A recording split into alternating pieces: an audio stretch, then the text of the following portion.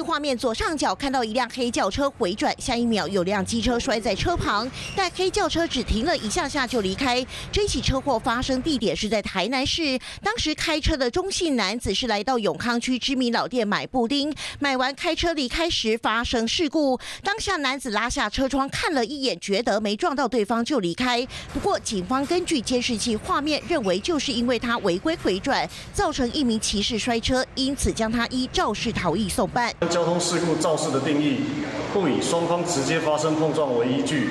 而是依事实判断具有相当因果关系，即可认定为肇事。警方强调，车祸事故的认定，只要有一方驾驶的行为跟车祸有因果关系，就算肇事。虽然中姓男子事后赔了一万元，但是对方没撤告，因此被法院判处六个月徒刑。警方呼吁，类似状况像是违规停车而导致摔车意外，违停的驾驶人都可能吃上官司。华视新闻刘汉生、邱君平、许富杰，台南报。